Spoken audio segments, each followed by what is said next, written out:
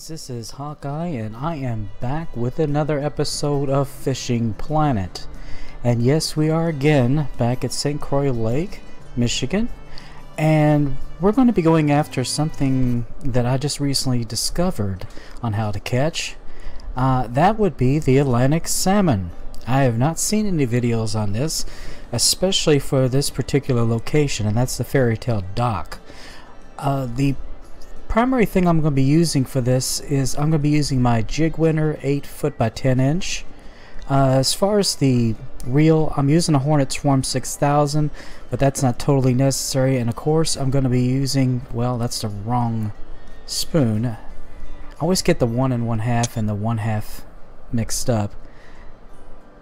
Yeah, I'm going to be using the one half ounce spoon and fluoro 0.011 line and as far as as far as line goes that's probably about as strong as you need.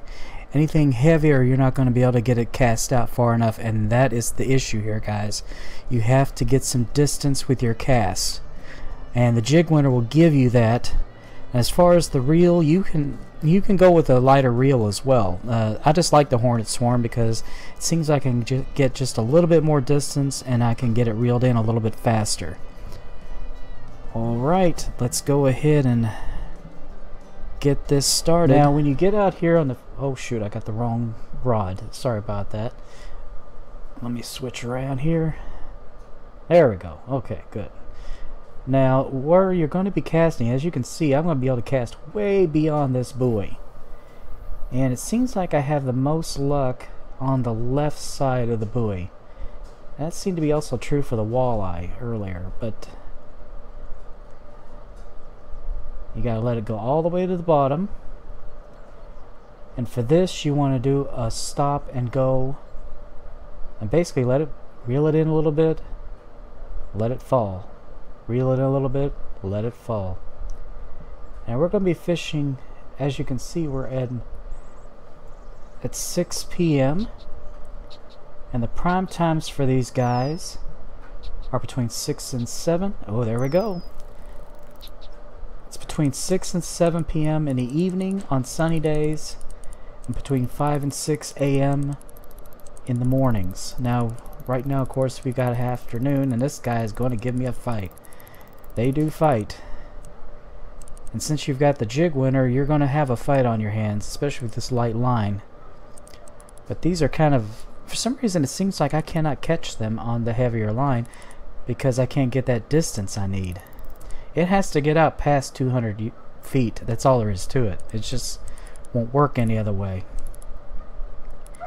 And so far, this is the only lure that I've caught them on. I'm not saying you won't catch them on something else, but this is what I've caught them on.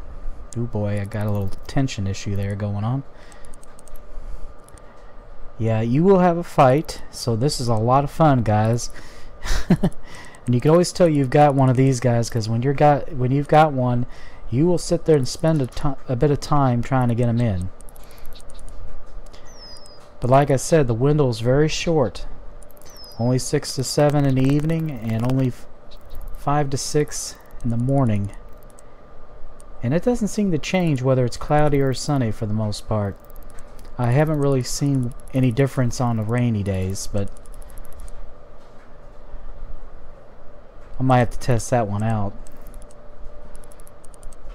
But rainy days are, you know, they just kind of come when they come. So, on this particular map,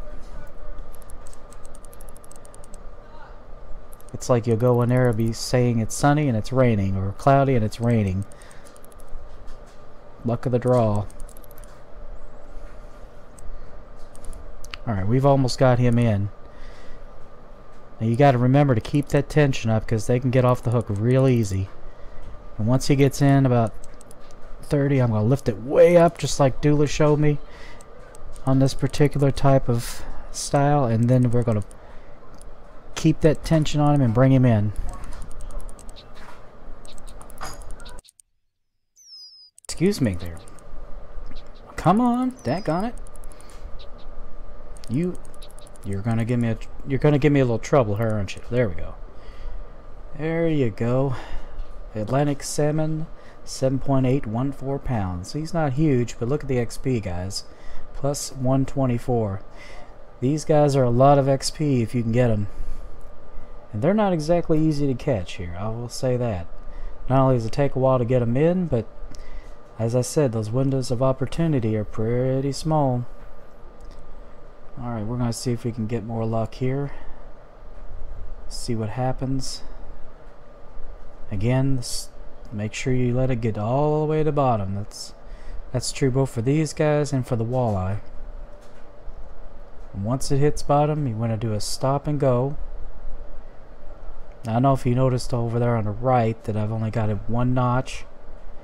And I got the tension pretty low. You can always bump it up.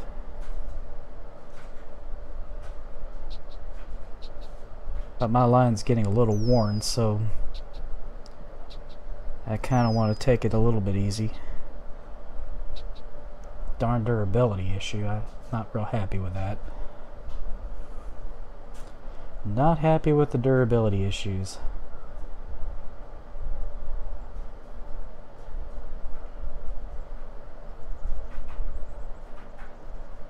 Well, I'm not so sure I'm going to get one in the... Well, make a liar out of me. Usually it's out about 200 feet. Uh, wait a minute, guys. Uh, don't think this is a salmon. no, this isn't a salmon. It's too easy. Way too easy. I think we got us a smallmouth here. Yeah, we got us a smallmouth. Little bugger. I thought it was in a little bit too close. You just couldn't resist, could you? God bless those things are ravenous. Alright. Okay guys, what I did is I decided to go ahead and switch over to early early morning so that you can see the window here of opportunity. It's just after 5 a.m. And really, you can pretty much catch them anywhere out past 200 feet here as well. But again, I'm going to go to the same spot I did when I was fishing in the evening. Way to the left of this buoy. As far out as I can get. Nice. Sometimes I can get as far as 240 feet. Now 235 is good. 235 is good. And there it goes. It's at the bottom. and we'll go ahead and get the stop and go motion going but let me adjust this thing apparently I don't have it set right Hey, you don't want to do it too slow but you want to don't want to do it too fast either the trick is you want to be able to see it turn blue in those um, where it hits your line and possibly a rod. Because these guys, they don't come up and they don't hit it real hard. They they have a See, there's something right there. Nope. Something was there around 200 feet. I guess he gave up. Yeah, a lot of times what I'll do is I'll I'll jerk it and then kind of give it a bounce. Alright, we cast it out again here. We're going to give this another shot. See if that fish is still out there. Yeah, he's still there. Come on.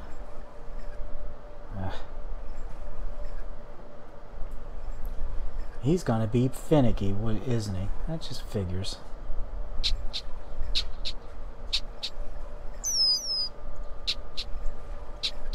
Gonna be finicky.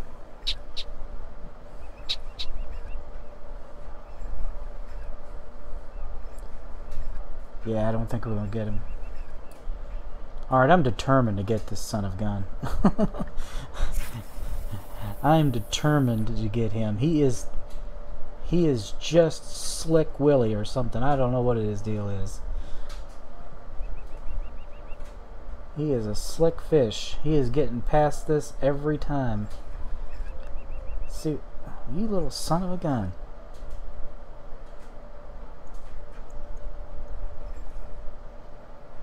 Oh, he is definitely giving me some issues here. Finally! I got him this time. And it is a salmon, I can tell you that. I knew it was a salmon, but... You see how tricky they are? They are not easy to... Some, I mean, hooking them sometimes pretty tough. And he's going to give me a fight, too. Jeez. Yeah, he's a lot bigger than what I caught that last evening. That one was only about seven and a half pounds or something like that. This one's a lot bigger. now I've not seen any trophies here, here guys. I know you can get trophies in Alberta, but I haven't seen any here. I'm not saying they don't exist, but if they do, they're rare. I've only caught regular size ones, but the way this one's fighting me, it could be my personal best. God.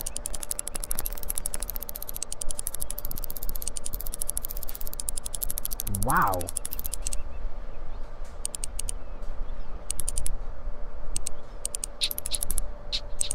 Man, I definitely got a fight on my hands here. Come on in here. Now.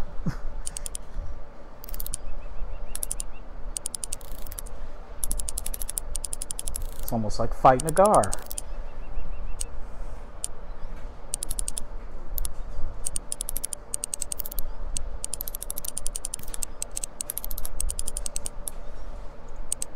Okay.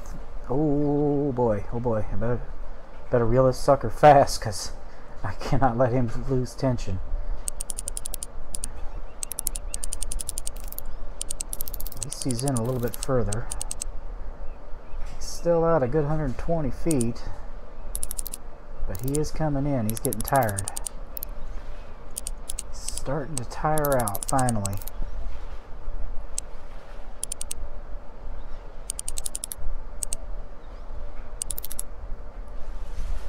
Come on.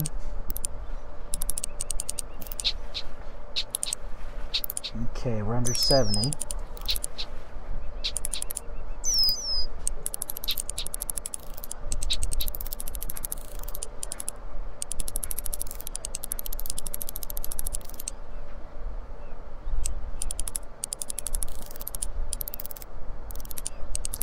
Oh boy, he's taking another run for it. Daggone it. Hmm. If he isn't a trophy, he better be substantial. That's all I can say. If I just fought a seven pounder this long, I'm going to be a little aggravated. Alright, come on. Alright, we're down to 40. Let's Get it up in the air here. Come on. We're going to get him in. Come on. Up in the air. 18. 15. Yeah. Oh, yeah. He's a lot. Oh, 10.417. Yeah, he is bigger. Plus 166. That might actually be my personal best for this leg. I'll have to take a look, but yeah, he's pretty. He is pretty. Right, there they are, guys. Atlantic salmon. They are here and they are fun to catch. I hope you enjoyed that, guys. And please be sure to share, comment, like, and subscribe. And please check out my new Patreon page if you ever get a chance. I just started one. Don't know much about it, but I'm it's out there. So until next time, I will see you later. Bye-bye.